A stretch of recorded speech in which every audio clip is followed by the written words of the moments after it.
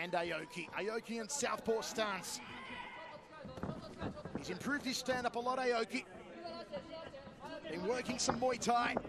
There's a nice round kick off the back leg. And again goes to the liver section. Ooh. Double looping lead hand there from Aurelio, but didn't turn the knuckles in. No knuckles, no hip turn.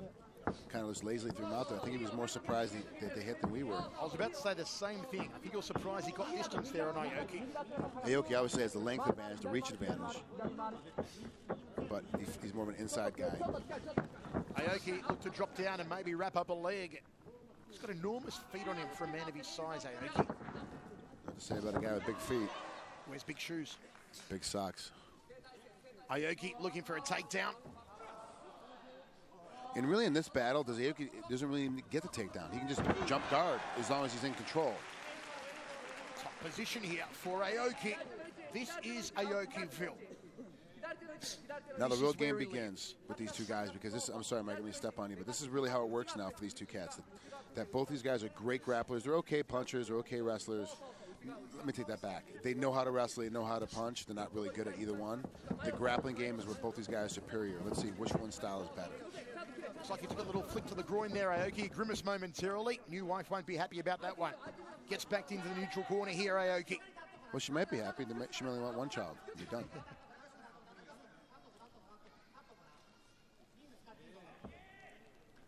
Aurelio. Oh. He's got real long, skinny arms. He's able to get these weird ass chokes on his top side.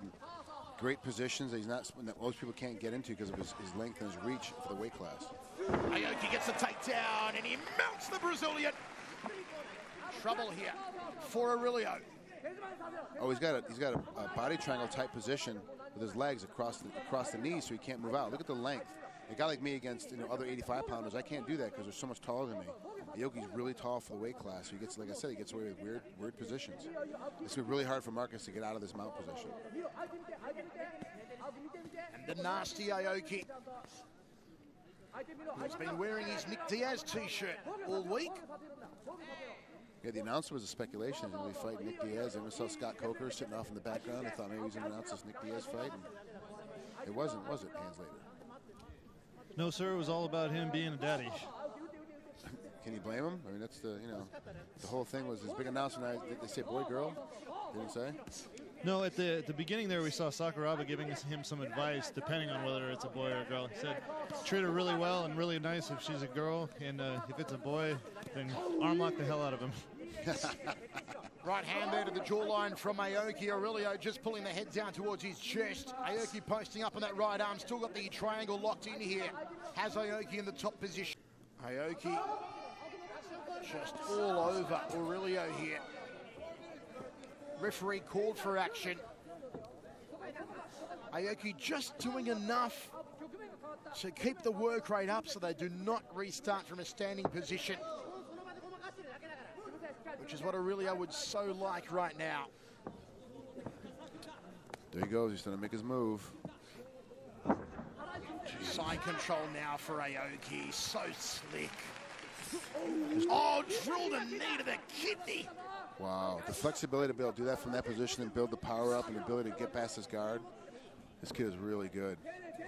And he's getting better because now he's getting more violent. And he's got violent submissions, but he's getting more violent with his strikes from the guard game, too. The rumor floating around that it may be Aoki versus Melendez at Dynamite on New Year's Eve. That would be epic.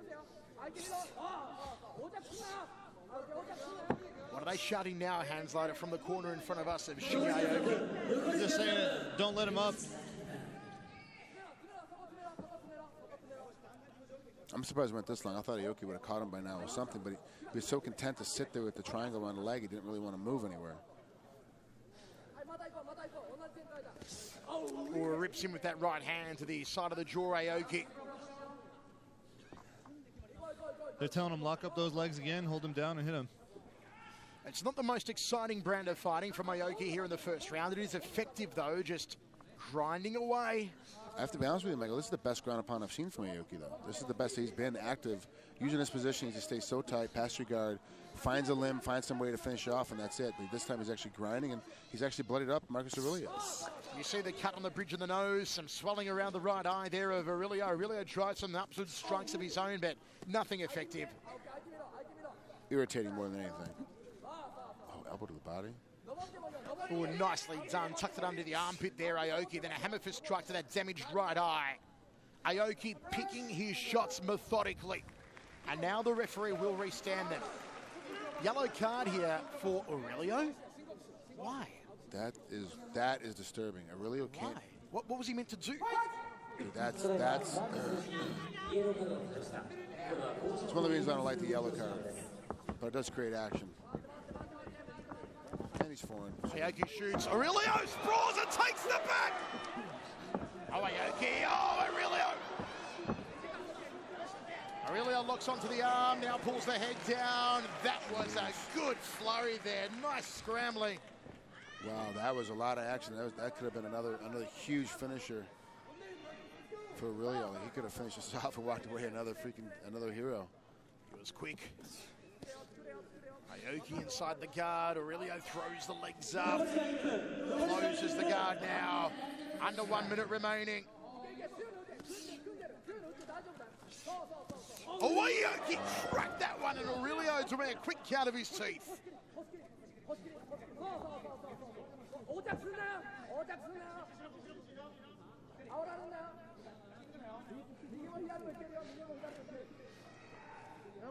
Aoki applying the pressure.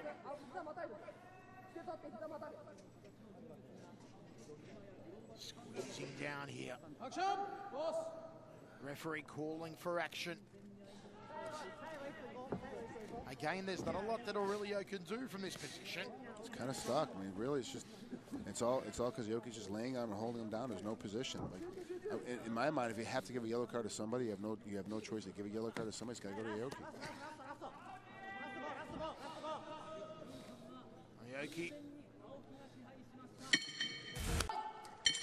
Let's see what Aurelio can do. He does have a good jab, the Brazilian. I'd like to see him use it more, and he does just that. Trying to set that right hand. There's the right hand counter. Aoki got underneath it. Get right from the ropes. Aurelio's got to get off the ropes right here. Yoki's got to keep him on the ropes. Still to come here tonight, folks. Sakuraba versus Mayhem up next. And then Musashi versus Mizuno. Two blockbuster fights remaining.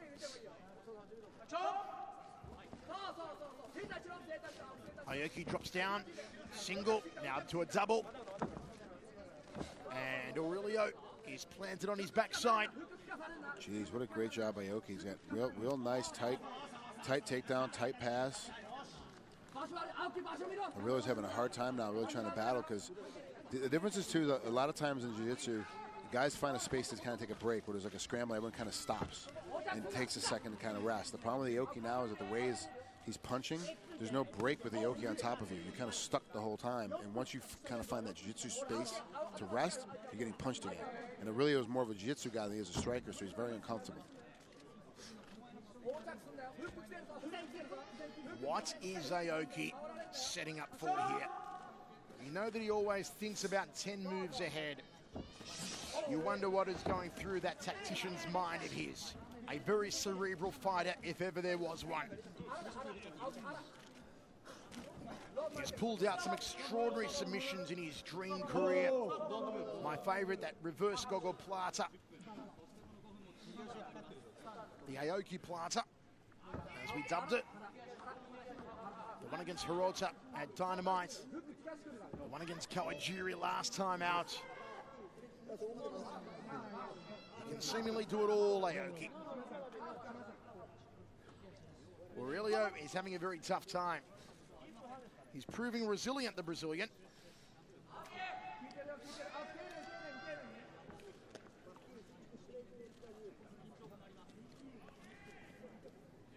Not the sort of welcome back to Japan that Aurelio wanted. Not at all. It's complete domination to this point. I mean, nothing that really was done other than a couple jabs has actually worked. It's got to be so frustrating because he's got high-level jiu-jitsu. He's got great jiu-jitsu, and it's just not working against a guy like Aoki. Hammer fists again from Aoki. That one there was smack on the nose. Be breathing out of the back of his head after that one, Aurelio. Aoki wants to mount him, gets the mount. Beautifully done. And I love the appreciation that the crowd, the educated crowd here in Japan, shows for a move like that. You hear the round of golf claps.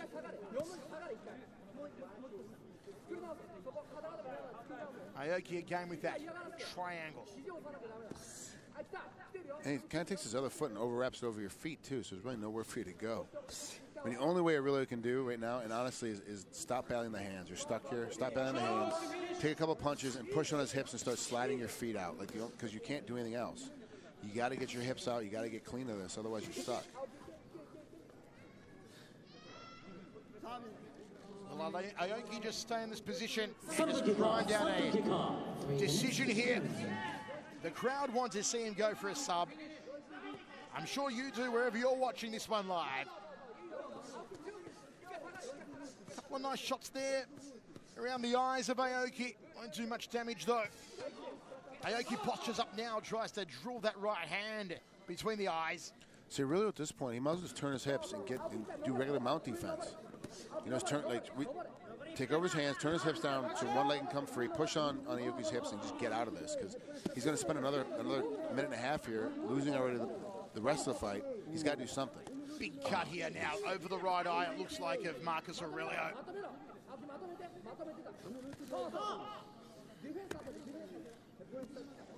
And you know that's like waving a red curtain in front of a bull with Aoki. He'll just go after that cut. He'll open it up. He'll deepen it up. He'll put a money box on the forehead here. One minute remaining in the fight. It has been all one-way traffic hands later. This is interesting. Aoki's corner was just telling him make him defend it. I think they I think they're trying to get him get Aurelio to bring his hands up so he can attack him with a submission here. A surprise, Frank, that Aoki has spent so much of the fight in this position. Yeah. And seeing that it hasn't worked for him for a sub, that he hasn't broken off and switched up and tried to transition to something else. Yeah, I thought for sure after about 30, 45 seconds of him in this position would have moved. It's been like six or seven minutes. I mean, it doesn't make any sense. Like I, I don't know if, if Aoki's looking for some some particular thing or what the problem is. He doesn't feel comfortable moving up there. It's a new technique or what the deal is, but he's dominating from this position, but he's not able to finish the fight. 10 seconds remaining. Aoki is going to claim the victory here and claim it easily. This is one of those fights that should have went. It should have been finished early. Like there's, there's no reason for this fight to go the distance. Judge Ohashi, Aoki. No brainer here, folks. Judge Isano, Aoki. Judge Shoji, Aoki. Yute Shusha. Aoki takes it with ease. Shia. Aurelio was resilient.